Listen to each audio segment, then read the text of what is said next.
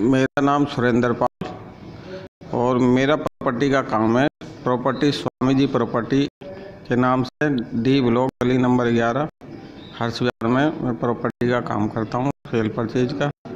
और समाज ने मुझे बुद्ध बिहार अंबेडकर समिति हर्ष विहार दिल्ली 93 का उपाध्यक्ष बनाया है।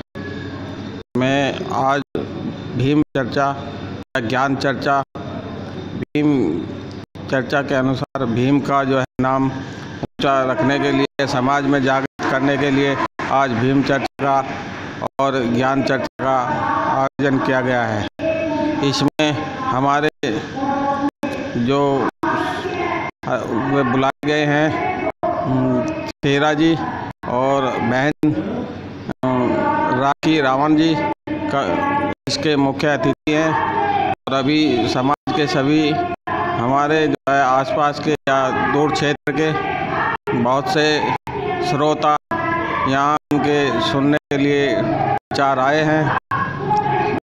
उनकी ये ज्ञान चर्चा आगे भी चलती रहेगी, अभी भी चली रही है आने वाले समय में और हम इसके लिए और कार्यशील और लगन से मेहनत करते रहेंगे।